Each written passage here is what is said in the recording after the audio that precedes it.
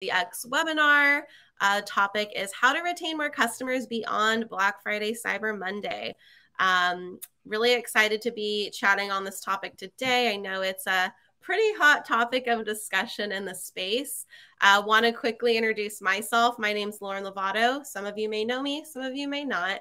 No worries either way, but uh, I'm a partner manager here at Gorgias. Um, and I'm joined by one of my partners, actually, Luigi from Calashock Commerce. Um, Luigi, you want to take it away and introduce yourself? Yeah, good morning, good afternoon, good evening, depending where you are. My, my name is Luigi. I'm the founder of Calashock Commerce. We're a specialist BigCommerce uh, systems integrator with offices in Europe and North America. And we're one of the first BigCommerce partners. We started working with them in 2009. And I think we've been partners for a few years now. Um, Laura, obviously, we used to work together, and Lauren. So uh, it's a pleasure to be here and, hopefully help a couple of merchants retain more customers. Definitely excited to have you on today, Luigi. Thank you. And um, no headshot on here for Miss Laura, but Laura will be um, moderating our conversation today. So, Laura, want to introduce yourself? Yeah. Hey, everyone. I'm Laura Koerber. I am manager of the commercial partnerships team here at Gorgias. Our team works with a lot of really amazing agencies, including Luigi. I've had the pleasure of uh, working with Calashock for, I want to say, definitely like nearly two years now. I think I actually reached out to Luigi on LinkedIn one time because I noticed Calashock was killing it in the BigCommerce space. And I was like, man, like would really love to work with them. And yeah, I think he was kind enough to respond, and we've been partners ever since. And Lauren joined our team back in in June, and she took over the partnership with Calashock and has been doing a really great job. And all leading up to this webinar that we've done for the first time with Calashock. So really excited to to be on here with you guys and talk to everyone about uh, how to retain all your, your customers that you just got during the busy Black Friday, Cyber Monday season. Awesome. Thanks for the introduction, Laura. Um, so, just want to point out a couple of things like, really encourage everybody to, again, be present, ask questions, give feedback, really engage in the chat. Um, again, we want this to be a very, very open discussion, um, you know, participation is key for that.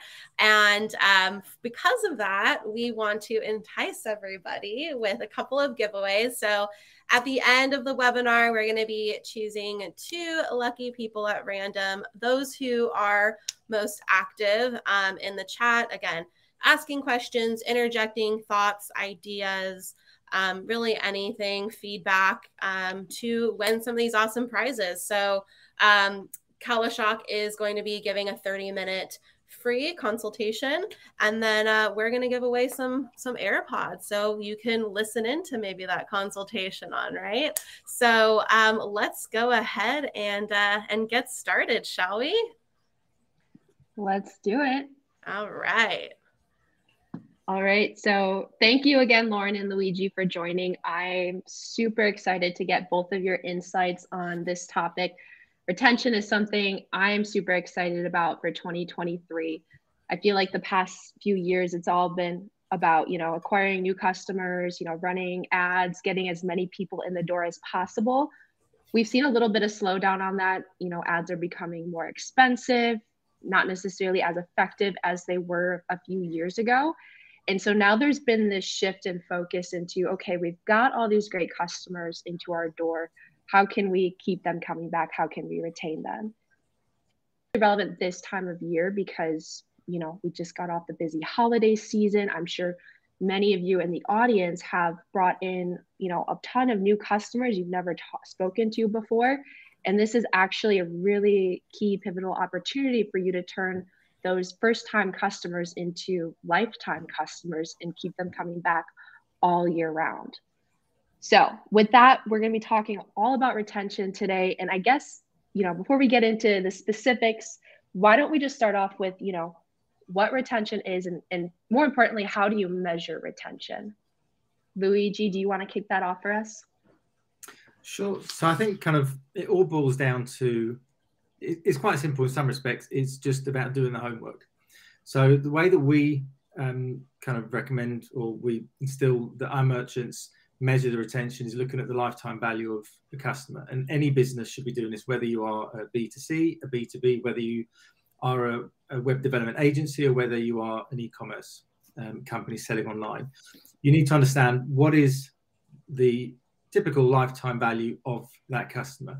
Because if you know that that customer over the course of its lifetime with you, which might be three years, um, will give you, I don't know, let's say three thousand pounds of, or three thousand dollars, or three thousand euros, whatever, of, um, of sales. You can then start working backwards from that and saying, right, what's going to be my profit margin on on this customer, and therefore, what can I afford to spend to acquire that customer? Because if you've spent some money to acquire that customer in the first instance, and they're in, you know, they're, they're kind of become a loyal customer to you, whether it was $10 it cost you or $15 or $25 to acquire that customer, that investment is done. And as long as you've got enough margin now to kind of maintain that throughout the lifetime value, then really it's kind of quits in. And I think a lot of time people either don't look at the bigger picture, they look kind of, in, they're quite insular and saying, on this order, it's too small, or this order, if I refund them or if I if they ask and send them back, I'm not making enough money. You need to look at the bigger picture. And yes, you know, there are always edge cases and it's not there are some nuances between B2B and B2C. But it's everyone knows that it is cheaper and far better to get an existing customer to buy from you than it is to acquire a new one. And I think we've all been guilty of kind of just glossing over that and trying to look for the next customer, assuming that the customers that we do have are just going to stay with us. So I think from it's, you know, I'm not going to kind of use a cliche and say, you know, we've lived in unprecedented times during COVID, but it was a lot of people were just kind of, you know, thrown for six because they got, we got so many customers that just got so, so busy over, over COVID by doing nothing. They just like our turnover, you know, went up 400% overnight. So how do you prepare for that? How do you, you know, you, you become a bit complacent. You say, well, I'm getting all these customers every week and that's when now we're getting the phone call saying that we were crushing it during COVID. Now, not so much. we need some help. And it just, you know, it, I think it's the simplicity. You have to take a step back and say, right, you know, that customer, how much you're going to earn from them over the course of whatever lifetime it is? Can you extend that lifetime? Um, and, you know, if it's not enough, how can you get them to buy more? If it's satisfactory, fantastic, but always be pushing mm-hmm. them. But I think if you ask a lot of merchants, they won't know what typical lifetime value for a customer is. Yeah, I definitely echo that. I think looking at customer lifetime value is super, super essential. Um, but even even looking further into that, like measuring net promoter score, or as other people distinguish it as NPS, um, really is beneficial as well, right? Um, this really just measures the customer loyalty and can be used to help predict a customer's likelihood of making that repeat person purchase. And um, high NPS score can really encourage customer advocacy, shows that customers are extremely satisfied with the product and are willing to actively promote it. So I think also looking into into that is is super beneficial when when looking at retention as well. I mean, what do you think, uh, Luigi? We, uh, are we assuming everyone knows what NPS is? Because I still come across people that don't. They've done it. They, they, they, NPS is kind of when you get the email saying from zero to ten, how likely you yeah. to refer a friend? And I, I've done research kind of over the years about NPS, and the jury's still out as to whether it's a good gauge. But I'm a big fan of NPS because you don't know what you don't know. Mm-hmm. It's kind of you might get that person that has bought from you once, and why haven't they bought again? Now I can go on a slight tangent here, but just to keep it back to it, net promoter score I've seen the responses for that some merchants get, which is your shipping's too expensive at like four dollars or four pounds, and it's kind of like, well, it costs seven to ship it, but fair enough, you know, four is of expensive. Um, you were too slow, you didn't communicate with me, um, and so NPS is, is, I think, is a really good gauge. The problem is, you know, you're only going to get probably a 10, 15% response rate. Mm-hmm. So, and again, you're going to get the ones that are on either side, the ones that are real detractors that are saying, I really don't like you. And I'm, it's the same with reviews. You know, reviews you don't get from average Joe that's content. You get them from the ones that love the product or the brand, you know, what you know, the, the what it stands for, or the ones that hate it. You, and you're going to get the same with NPS, mm-hmm. which isn't, you know, too bad because again, like I said, you don't know what you don't know, and I think it's you know you can address it and say, well, I'm sorry, four dollars is actually quite a competitive shipping price to send something from the west coast to the east. Um, or you know people saying it took too long. It's like, well, you selected, you know, we ship it by ground because we have to, and it takes three days or whatever it does. Um, so I, I 100% agree that NPS should be on everyone's kind of marketing mm-hmm. plan. Um, you know, and do them every three months to different kind of cohorts, different groups of customers to just try and get that average feedback. Luigi, you brought up reviews, and we actually have a question in the chat about reviews. How can businesses use customer reviews and ratings to build trust and credibility with potential customers? You've just got to be genuine, I think. Like, nobody is perfect. Everyone's dropped the ball some whether it's it's the in the warehouse, it's the manufacturer or it's the delivery company. There's been orders, it's a numbers game. There's been orders that just haven't arrived in time, have arrived damaged, whatever the reason. And so, unfortunately, you you can't shy away from reviews because now they are a a, staple of, of commerce in general, not necessarily even e-commerce. So you have to kind of be where your customers' eyeballs are. And if, if you if you have, whether it's Trustpilot or whether it's Feefo or whether it's you know trust, but whichever kind of review systems they are that use, you have to engage with them, just like with social media. And I think leverage them as well. So if, I mean, just again, taking it slightly away, one of the ways that find a lot of customers, our customers, our clients retain their customers is they offer a good service. And we kind of know this because we all tend to buy from hypocrites, uh, from sorry, from Amazon. That's because I know nobody's that line where I say I'm a hypocrite. We'll buy from Amazon and we're all kind of semi anti Amazon. But the reason why we buy on Amazon is we know it'll arrive when they say it'll arrive. We know that they'll only send us stuff that's in stock. We don't. Most of us don't look at the price. Most are just saying, "I know that it's going to arrive whenever." If I've got a problem, they're very good at sorting it out. Where you know, so we know that there's an element of support we're going to get from from Amazon. And so, really, merchants need to look at that as well and say, right, if we got a review that was bad because you know the parcel arrived damaged, let's address that. So let's address the review and say we're really sorry. You know, didn't you know whatever the, the response needs to be, but we'll you know we'll, we'll get in contact. And I think it's important you don't just say please DM us.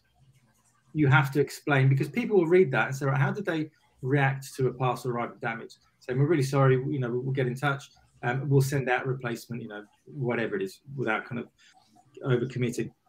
Because I think people will see through any reviews that are just five stars across the board. You can't get away with that nowadays. You have to have the odd one that isn't happy because you'll always get that one that you can never, no matter what you do, whether you deliver the order on a silver platter with white gloves, on the, the time that they ask for, they're still not going to be happy. So you're always going to get that, and you need to kind of so and once you kind of get those, and you know, for sure, promote them. You know, whether it's on social media channels, whether it's on on um, on, your website, because customers will want social proof. Mm-hmm. You know, they're going to want to see how somebody else that bought that product, you know, either used it or what they thought of it or whatever. And especially depending what industry you're in, if you're coming to something like fashion where size and fit comes into play, you want to get that feedback mm-hmm. that you know it's a bit tighter than expected it, or it was perfect, or it was light, or it was heavy, whatever because that's feedback that either merchant can take back and say, right, how can we improve either the product or service or whatever. But actually, your customers are going to say, right, this is the product for me, or this isn't the product for me. And it's okay for a sale to, to, to not go through because chances are, if they weren't happy or 100% convinced when they were buying it, you're probably going to get that as a return, depending on what industry you're in.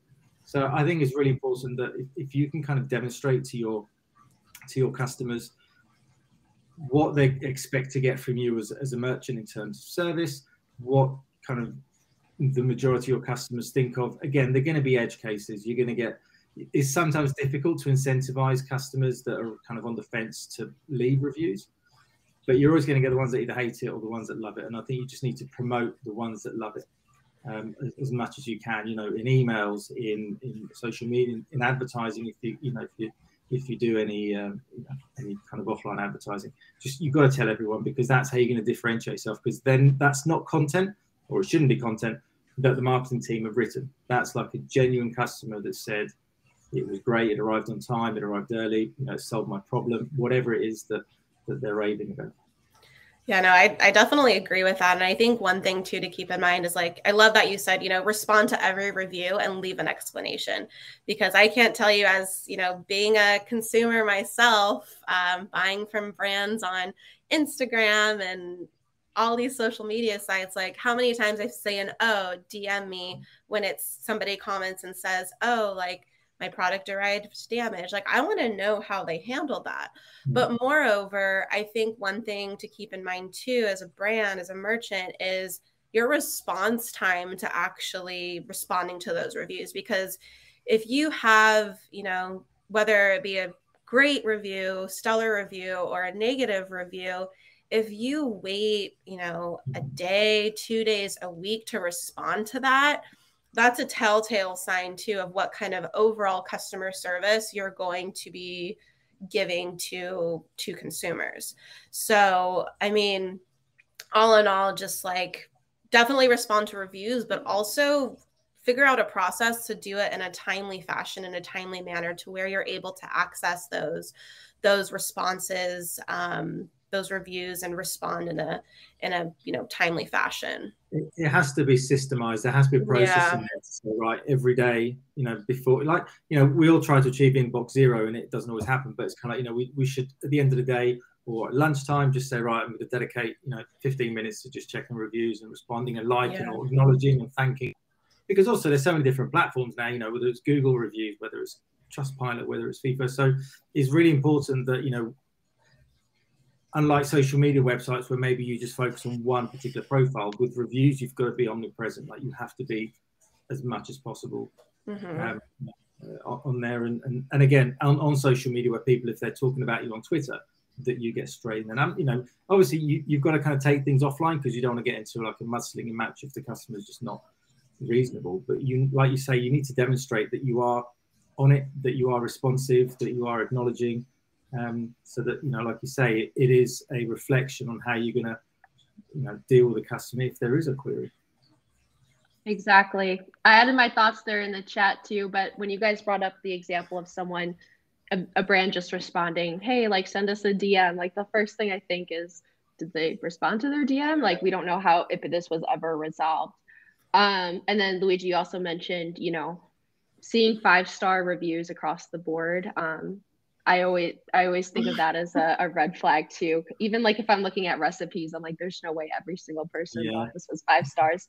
Tastes very so different. So um yeah, like if if someone, you know, didn't have the best experience or didn't enjoy your, your product as much as as you wanted them to, very important to address that and you know address the reviews that come in and show your other potential customers that um, you are responsive and if they do run into an issue you are there for them um, and that's how you that's one of the ways that you can really build a lot of loyalty. Now we have a question in here from zach. He was asking about black friday cyber monday.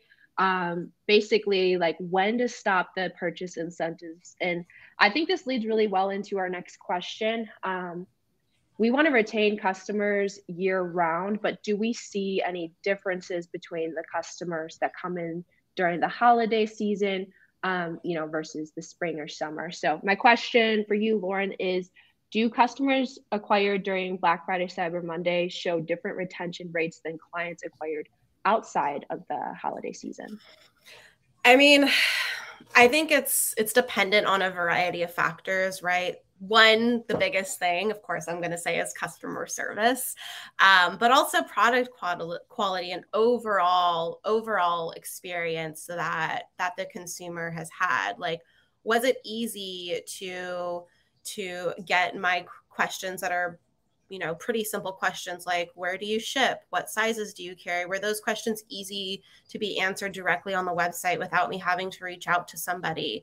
Um, was was the website easy to to maneuver around? How long did i wait for my for my order to arrive? So there's there's a number of different things. Um, in terms of rates like i don't have any said statistics but um, i know i was reading an reading an article um, just a few weeks ago. I think it was from Klaviyo and um, something like it was like 6% there was a 6% increase in sales during the Black Friday Cyber Monday weekend compared to last year. So, although like, you know, people are saying the economy is changing, things like that, that didn't that didn't really slow down slow down this this you know holiday shopping season. Um so i mean going back to the questions you know do customers acquire during this the specific time of the year? Um, do those show different retention rates? Um, my guess would be would be yeah there might be a higher a bigger opportunity to to retain those new customers that you're attracting with with the holidays. But um i don't know. I'm curious to think what you think luigi on that. Well just quickly on that 6% um i think BigCommerce came up that their merchants received 14% more. Okay. And kind of we're all tiptoeing around it but everyone's trying to save money. Yeah and when's the best time to go and save money on the you know it's going to be black friday cyber monday. So that's why i think you potentially had people that either were spending more because they're saying right i'm going to stock up or people saying yeah, i mean i'm not massive cyber five. I'm normally too busy to even remember that it's cyber five because obviously that's our busiest period. But it, i don't normally kind of you know bother but this year is kind of like you know let's see what what, what more for also um, interest, but see what's going on around merchants. A little big discounting going on with some brands. So I think from that perspective, yes, people spending more, but I, they wanted to save money. I think mm-hmm. fundamentally.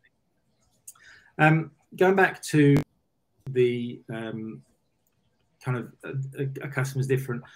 One thing that we need to be aware of is that there's different types of customers that shop with your brand during Cyber Five. So one that we so when we run workshops with merchants, whether it's a replatform or, or just a kind of a strategy session, is to really understand the customer. So and primarily it's who you're marketing to, but who what kind of customer do you have navigating on your website? And we normally have about one or two depending on on the type of business. But really you can go up to about five because if you're looking at something like a cyber five weekend, you're going to have somebody like me going onto a jewelry website to buy a necklace for my wife. I will never visit that jewelry website during the year. And so you need to you need to be aware that there are going to be gifters that are going on at Black Friday, Cyber Monday sales that are not going to buy during the year. But that's the opportunity for you then to say, right, if you are buying a gift for somebody, why not try and capture some additional details post sale. You know, kind of who you're buying for. You know, do they have a birthday? What was the reason to have a birthday? And with our partner Klaviyo, you can run all these different kind of um, capture all this different uh, data in the profile. But to understand, saying, well, if you know, if I want to say, well, I'm buying something for my wife and her birthday is in April, they may ping me an email a month before, three weeks before her birthday, and say, you bought this product for Christmas why not buy this product for her birthday? Now, it, you can go really deep. It's not it's an easy exercise to do. But I think a lot of people forget about those gifters that they think, well, it's a one off, they're never going to buy again. That's not true because if you, if I got an email saying, hey, it's your wife's birthday in, in four weeks' time, not only did I just remind you so you don't forget, because we've all done that once, but also here are two or three products that might complement what you bought her. Mm-hmm. You've just solved the problem for me because I'm like, do you know what? Add to cart, check out, off we go personalization is key you know? There that's nail nail on the head especially when building that loyalty and retention with brand or not with brands but with consumers. So exactly. yeah no that's that's an awesome thought. So you need you need to again it's kind of it's the simplicity of saying right who are we targeting? You know uh-huh. i mean we're talking primarily b2c here but it doesn't mean we can't do b2b either. Um obviously the, the buying trends and behaviors are different but on a b2c perspective you know you're going to have the ones that are just you know they are bought into your brand. They are the raving fans. And we've got some customers like that that you know as soon as a product is dropped bang is sold out because their raving fans have bought. It's incredible. And how how the brands often achieve that is by being kind of putting a face to the brand by being present by being able to to engage with the, with their with their customers so they're not really technically buying from the brand anymore. They're buying from the person um, and but on you know on, on the B2B side, again, you're going to get people that maybe, especially nowadays when you know they're looking at cutting costs. If they if you did run a Cyber Five um, uh, campaign and they are new customers and you can identify that in your CRM or your you know CDP or whatever it is, then you need to start marketing, like you say, from a personalized point of view. So somebody that's maybe bought um, computer monitors isn't getting um, an email about TV stands. You know, they have to. You kind of have to start to understand who your customer is and the type of products they're going to be interested. And all this data is out there. It's data can sometimes be like a minefield, um, but if you get the right systems in place, then you can really start to not necessarily understand your customer. The systems will understand the customers, but you can understand what triggers you need to uh, implement for your customers to to, to become repeat, repeat buyers. So I hope that kind of answers the question in some respects. Um, I kind of went yeah. I think you I think you guys nailed it. Um, we talked about some differences between the customers that are acquired during uh, Black Friday, Cyber Monday um, versus you know customers that acquire out that we acquire outside of that time. Um, I think the gifters is a, a really great example, and you gave some really amazing tips how to how to get those gifters purchasing, you know, in April and in, in the summer and in the fall as well. Um, any before we move on to the question, we talked about the differences. Any similarities do you see between these customers um, that purchase during this time versus throughout the rest of the year? That to me. Um, I think like one thing is definitely purchase behavior, right? Because both groups of, of customers. They may engage in similar purchase behaviors such as researching products before making that purchase and considering multiple different options before making that final decision. So all in all like really setting setting your brand apart. Like are you going to be providing post care instructions if you are selling jewelry or maybe bedding? You know are you going to continue to educate that customer on on um, things related to the industry you're you're selling in such as like skincare or beauty products things like that. So um, i would say yeah purchase behavior is definitely a, a big similarity. Even post purchase behavior i would i would right. suppose as well. They're like, all they're all going to need customer support. They're all going to want yeah. really timely responses from your brands. They're all going to want to see the reviews. Um, i totally agree with that. Yeah. What are some processes that you have seen that either of you have seen to be successful when working to get first time customers to purchase again and again? Um, you certainly have to create loyalty. So you need to kind of find some of those hooks that your customers are going to grab hold of to keep coming back. And one of the best ways to do that is to is to leverage your unfair advantage, something that your competitors can't easily replicate. So, from an agency perspective, one of our unfair advantages, we've been doing BigCommerce since 2009. Now, most like 95% of agencies we come up with cannot kind of compete with that. So we've got such a breadth of expertise in in our sector, and you can't buy that. I can say, you know, we've got 10 developers that specialized in BigCommerce. Somebody can hire 10 developers that do BigCommerce. You know, we've done 15 websites this year. Somebody else can do 15, but what they can't do is keep up with that unfair advantage. And that's something that brands also need to do is kind of what are you really good at that your competitors can't necessarily lay claim to. Um, and try stay away from that price discussion because the only people that benefit on the price war is the customer. It's just it's a one-way street. Um, and what you need to focus more on is the value buyers, the one that's saying, look, I mean, again, going back to Amazon, I don't buy much from Amazon if I can avoid it, but I buy without necessarily looking at the price. Yes, I'm not going to pay 45 pounds for a you know a, a bag of coffee because I know I can get coffee that costs a quarter of that. But I know that if about if I'm buying coffee and it's 12 pounds instead of 10 or 15 instead of 14, I'll buy because I know that it'll arrive tomorrow. Maybe I need it tomorrow. So I'm a value buyer. I'm, I'm buying into that service rather than the product rather than the price. One of the reasons why we and I'm a, a massive fan of Gorgias is it centralizes the kind of customer service aspect. And I think that's really, really important because your customers are everywhere. Your customers are on email, your customers are on, um, well, on phone. WhatsApp now is making a massive resurgence. Um, SMS, as if we're like in 2003, is making another resurgence. Social media platforms just everywhere. Live chat. So take something like Gorgias out of the equation and say, right, off you go. You've got five social media platforms. You've got WhatsApp. You've got an SMS. You've got emails, and you've got contact forms. How many systems are you using to manage that? And so one of the things that we say to our merchants is by leveraging something like Gorgias, what you're able to do is centralize it. Now, I'm not here to kind of necessarily sell Gorgias. What I'm trying to say is that if you become more efficient in that in that process, your service becomes more efficient because you're not having to switch between 16 different platforms in order to achieve the same objective.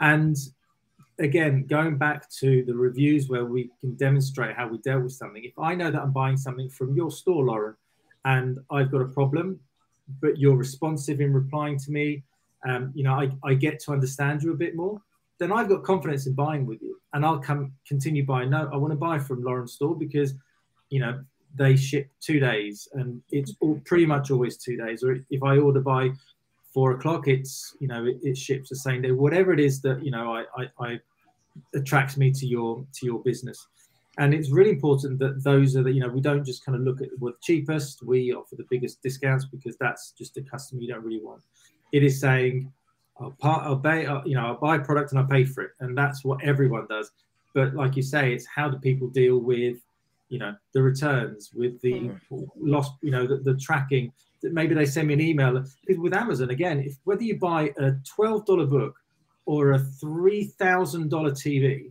the process is the same. You're going to get an email that says, thanks for your order. Your order shipped. Your order's out for delivery. Your order's been delivered. Again, doesn't matter what value the product is, you're going to have that information.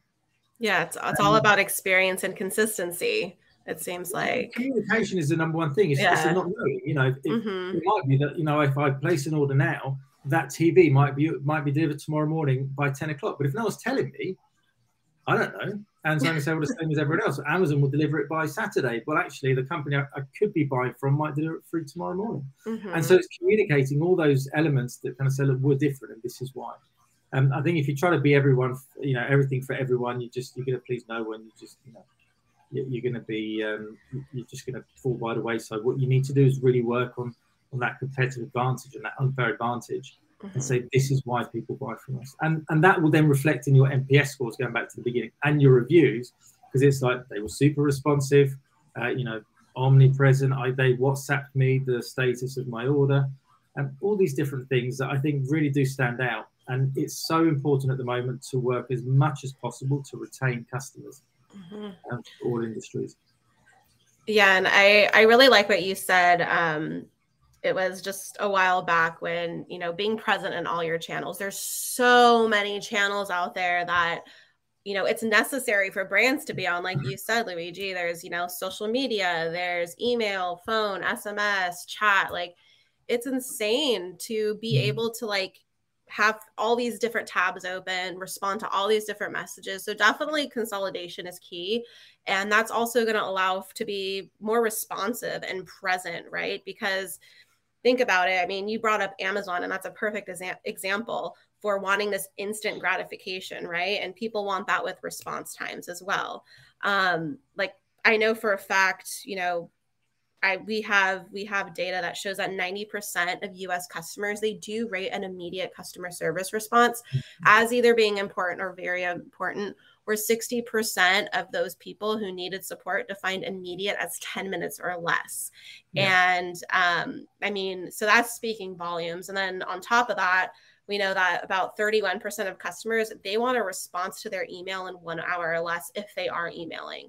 So if you don't have some kind of process in place that that allows that kind of consolidation, that kind of you know linear view to look at all of your different channels it may be a big headache.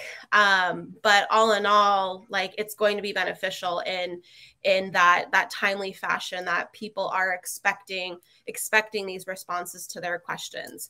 But you know on top of that even having um, some level of personalization uh, to to those responses like like you already mentioned um, you know, asking for the birthday when you're purchasing jewelry during the holidays, because then I can, or as a brand, I can give you personalized recommendations for when that said birthday comes.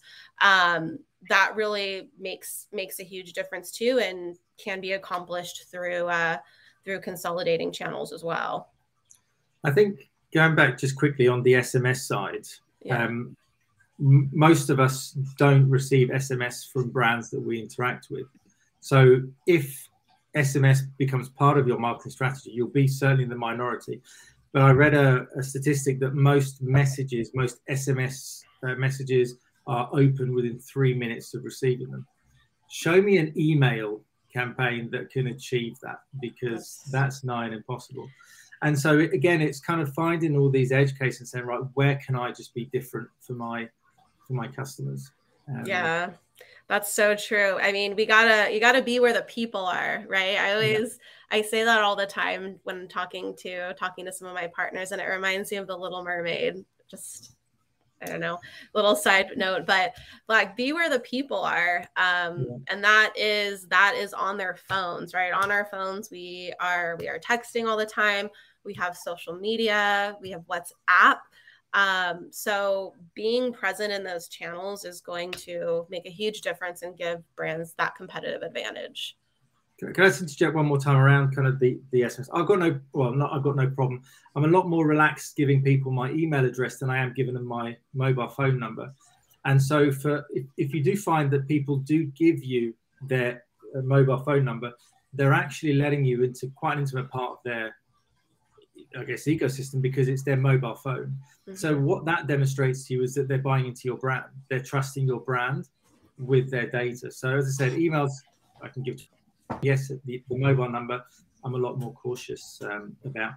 Also leveraging mobile. So apart from kind of having a website that's really easy to navigate with and uh, you know use whatever, there are review platforms that allow customers to create UGC, and that's something else that brands should be leveraging. Is kind of saying, right, how can we make mm-hmm. our customers sell on our behalf? Hmm. Um, and so take away, you know, the kind of the influencers, the micro influencers, it is saying, you know, Luigi that bought the watch or the phone or the wine or whatever it is that bought, let's try and get him to, you know, not just leave a, a review, but show the picture, you know, of that product. Because that is also, again, more genuine. If you've got, and that's why you see on like hotel websites and on Amazon as well, that they're trying to push the UGC where customers have taken photos of. Now, it can go either way, obviously. Um, but at the same time, it just enforces that credibility and integrity by saying, look, here are some real, you know, some real people using our product. That's so true. And guys, we have uh, Danielle here in the chat asking about the latest trends in e-commerce and tools as well. I think you guys did a really great job covering some of them. Um, would love to hear, and I also appreciate the the shout out of Gorgias too. Would love to hear though if you guys have any other specific tools that you think can improve engagement both pre-sale and post-sale over time? It can really mm. depend on the industry, I think. Mm-hmm. Um, but I, and it depends on the type of customer as well. So we work, we're very lucky to work with some brands around the world that have built a following, kind of a cult of raving fans around the brand. Um, we've got two in, um, in, in the States, one in, in Scandinavia and they've managed to build this community. So those customers are now promoters for that company. You know, they they will tell other people. They're the ones that put a nine and a ten on kind of an NPS on an NPS score. So if you can find a way to build the, that community, that relationship, leverage social media, and just try to cut through the noise and the fakeness that social, you know, sometimes can consume social media, um, and just you know have just stand for your values and, and, make sure that people can see them. I think that's one of the best ways. It's just going back to the basics and saying this is who we are, this is what we stand for, this is how we operate. Um, we're seeing a lot. If we want to talk necessarily about not products, but more around kind of sentiment, sustainability is a massive thing at the moment. There was a report um, in the UK that people would be happy to pay for shipping if they knew it was and wait longer if it was going via a sustainable method than get like a free next day delivery. And I think we've become very aware around the fact that we all have a small part to pay, play mm-hmm. in um, in you know kind of trying to help sustain the um, the earth. And so it, it, just goes down to you know being genuine, and that's how you can start to differentiate yourself. Um, packaging is one thing, you know, about recyclable packaging, make, making packaging suitable for what you're shipping. We've, we've all seen parcels arrive that are just stuffed full of void filler. And not only is that a waste of money for the, the, the merchant, but also if you think that, you know, maybe a van can only take X amount of boxes on each day and the boxes are getting bigger, the number of box, the number of orders that person can deliver goes down, which means more vans on the road and you know it spirals out to kind of say more pollution and whatever. So I think we you know we need to just take a step back, be aware of how we're shipping things. If there's anything that we can do to kind of make that, can that product can the packaging be recycled by the customer? You know, pushing those values there. In terms of kind of technology, um, I think personalization is key, and that's everywhere. That's on site.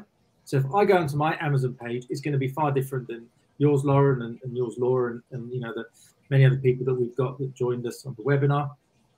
Um, you know, when we're searching on websites, if I'm searching for a particular product, there's systems out there that can use, you know, um, AI and, and um, so on to understand the type of products that I'm looking for, and the recommendations will change depending on that. Um, so, you know, if I go into a website and type red shirt, I could get a red shirt and for men, and I could get a red shirt or red blouse for women or, or kids or wherever. The system then gets to understand that you know I'm looking for men's products, I'm looking for formal products, and, and start to um, show me different results um, on, on, on, my visits. So the personalization is key because we're making it really simple for people to buy. And like mm-hmm. you said, we're spending most of our time on mobile. So we need to make sure that that experience loads as fast as possible. So we're not you know, just waiting, getting frustrated that it's taken like two seconds to load or three seconds to load or open a second.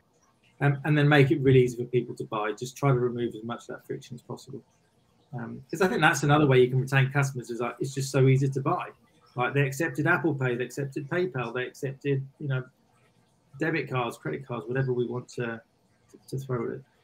Yeah, no, I totally agree. And I mean, to just add on to that, you know, making it easy to buy, easy to function is one thing, but like also allowing for giving self-service options to your customers like whether that be a chat bot or an faq or help center page because there's people who have you know commonly asked questions. They want answers quick. They don't care how they get them. So by putting the power back into the hands of your customers it leaves more time for you as a brand your cx team to handle matters that actually require more of a personalized, um, customized approach, right? So, um, you know, think questions like where do you ship? What sizes do you carry? Um, you know, the most commonly asked things, people don't really want to wait around 10 minutes for somebody to respond on live chat or for an email to be responded to in a couple days. Just have it somewhere on your website that's easily accessible and it's going to make it makes a world of difference overall in the overall experience. Yeah 100% agree. Yeah. Personalization is key and i imagine it differs across industries. It might be different from cpg to to beauty mm. brands to clothing. I've thrown a question I've, in the chat guys. I would love to hear from you what industries you're in. And while you're throwing that in the chat i have a question for luigi and lauren how do retention strategies differ across the different merchant verticals? Yeah, I mean, I'll I'll start here like thinking about like fashion and apparel, right? Um that those particular verticals they may focus on providing personalized styling advice um, offering exclusive promotions and discounts to repeat customers and or creating a sense of exclusivity among among those who are most loyal. And then like thinking about subscription based services, um, you know, whether that be like meal delivery services or like skincare delivery services, those kinds of brands, they may focus on creating a sense of, you know, exclusivity and community among their subscribers. Um, creating a community is one of the best ways to build loyalty because when you have when you have this community where people feel like they are a part of a bigger purpose, a bigger a bigger motive, that creates a very high value experience and keeps those subscribers engaged too. I think I agree with you about kind of the um, exclusivity element. and one of the ways that you can maintain, obviously increase loyalty, but try and maintain some some retention there is to make the customer feel like they're getting something that others aren't. So rewarding their loyalty. Now, one of the, the most obvious ways is kind of with loyalty programs. So, you know, for every dollar, pound, euro you spend, you get a point, and you know, 100 points is X amount of, of money off. Um, what what we've done with some merchants is private sales. So you need to log in to get those, you know, discounted prices but not everyone is part of the customer group that gets access to those prices. You need to have placed X amount of orders, or you need to have signed up to, you know, whatever um, um, those kind of criteria are. So making those customers feel special, like you know, I'm getting something that others aren't, is is a really simple way. Like it's depending on your ecom platform, um, but most platforms will have some form of customer segmentation. You could mm-hmm. turn that on tomorrow. Say, right, you know, going to take off the uh, you know the, the top, top 10% of customers and put them in a VIP or a VVIP group, then you know the next 10% they're going to VIP group, and these ones get you know percentage discount, um, and then you can run private sales for you know for the next week you get an extra 10% off with this coupon code or with promotion, and start to interact um, with that. Around kind of the different industries and, and so on, yes. So fashion apparel we, we know has a very high return rate. Um, but we're seeing a lot of merchants now push back with paid for returns. And I think it's only fair. I mean, I was with a merchant in the north of England last week.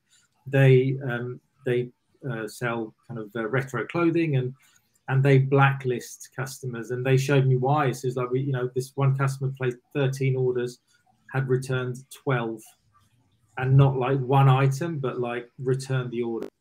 Um, so whether you know whatever reason they were doing it for, whether they were kind of you know using it for photo shoots or whatever, but they're saying we're just sending out orders, paying for it, and then paying to return it, and so restock and whatever. So um, I think that's obviously one thing. Now, the difference between B2B customers and B2C customers is often B2B customers are based on needs. I need a computer. I need some shelving. I need some you know monitors.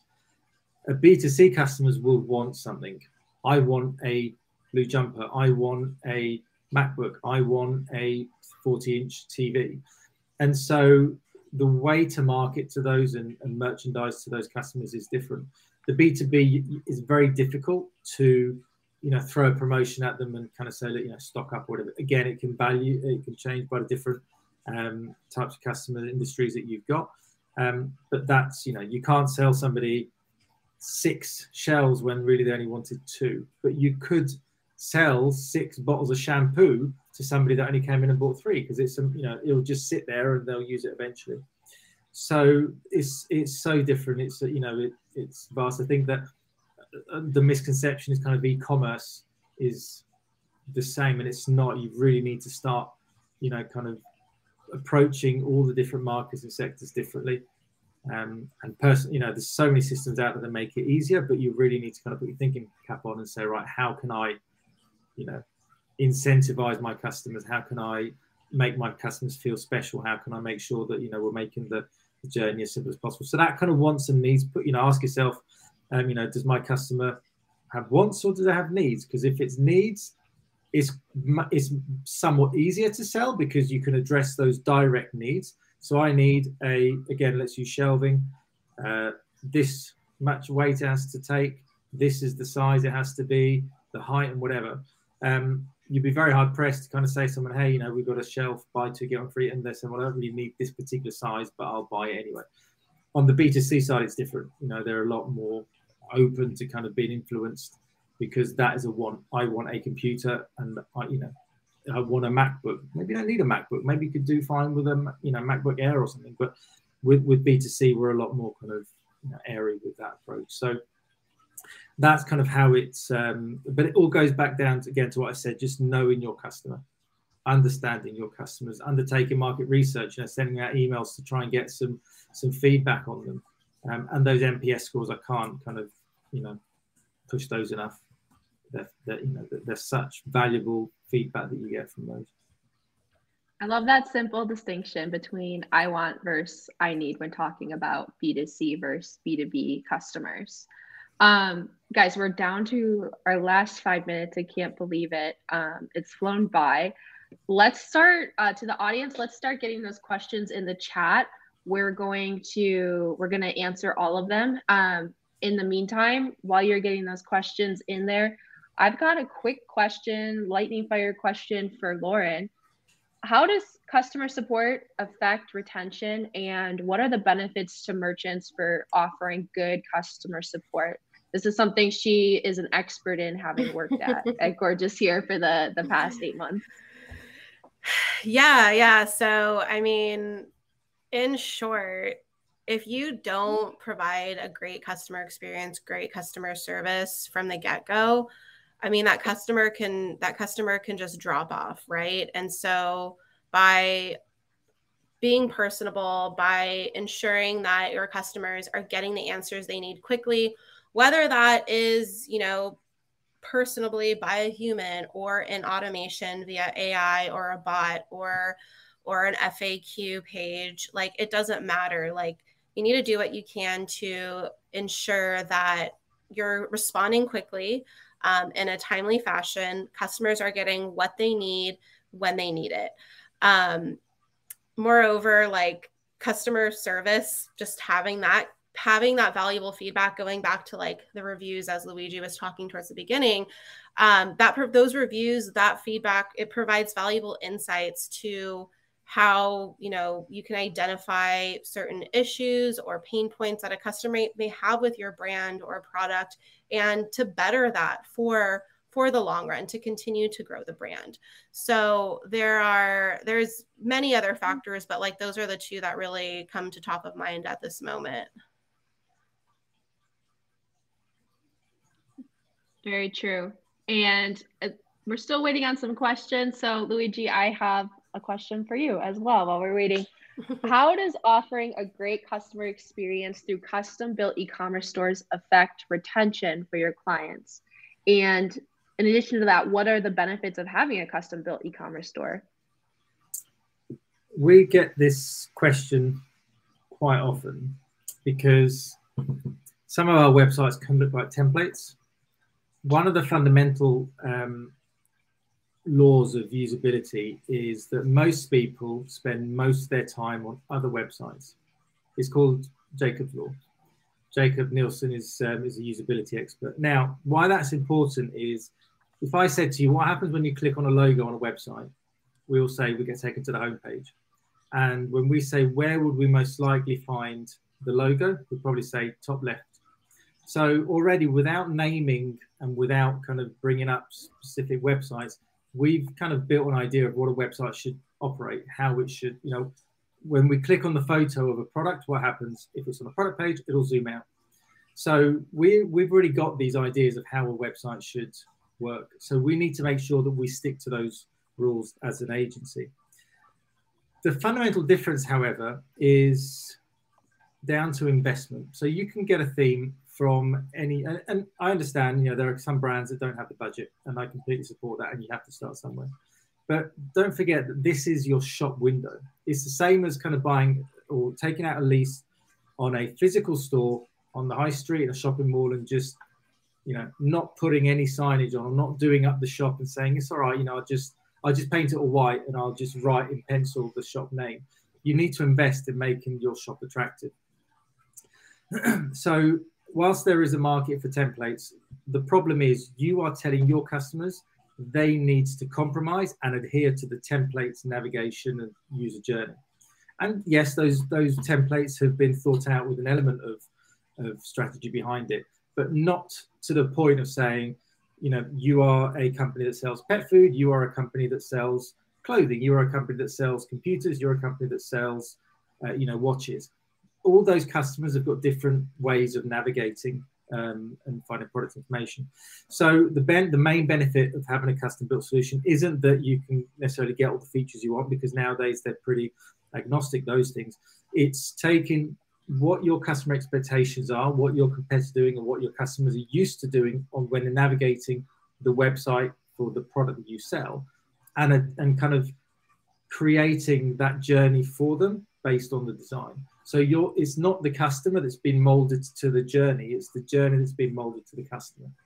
And again, it will just go back to saying they had all the information, they had a countdown timer, they had reviews, they had, you know, customer testimonials, they had, you know, a short description around, you know, the, the dimensions and information and so on. Um, so that's that's one of the most important things is one of you is going to compromise and please don't let it be the customer. Right, especially when we're talking about the importance of personalizing everything to your own customer. Guys, we're at time. Do you have a second to answer Nicole's question? How can you reward loyalty if you don't want to offer incentives?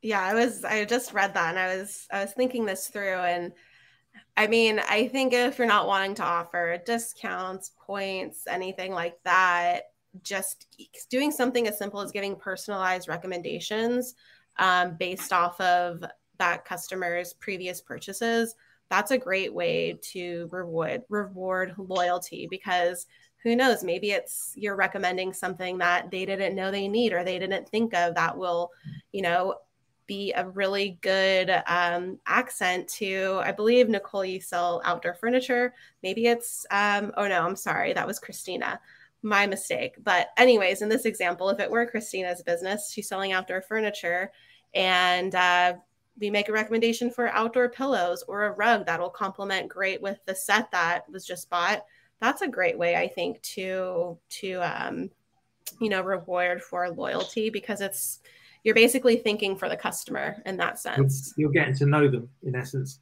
Yeah exactly. Absolutely. And those tools are out and I, I fully agree with you again i'm not a fan of kind of you know discounting because it's just it's a one-way street but just you know push those unfair advantages so again we spoke about private sales Mm-hmm. Um, you know, maybe not necessarily private sales, but they, you know, some customers get access to the products before they launch. To, so it's making them feel special, making them feel like they've got a relationship with you, mm-hmm. um, and you know that you understand them. I think that's that's really key. But it's gonna, you know, whilst it you it won't cost you in terms of discounting, it will cost you as an investment in terms of putting the time in to, to put those tools and processes in place to uh, you know to be able to help the merchants, uh, to be able to help the customers. Sorry. Nicole says amazing, and I agree. Lots of really amazing tips and tricks throughout this entire past hour with you guys. Really appreciate your time coming on here um, to talk to our audience about retention. Um, I think that's it, though. I, th- I think we're, we're yeah, wrapping up. Do we really, have anything else you guys want to add? Well, really quick, want to um, do the giveaways super quickly here. Um, so, doing a random selection and Congratulations, Nicole. You are a winner. And Daniel, you are a winner. So um, you will be contacted separately for your winnings. Thank you for being an amazing audience and your participation. And uh, looking forward to seeing you all at the next DTCX webinar here. Thank you very much. Bye, everyone. Thank you. Bye. Bye.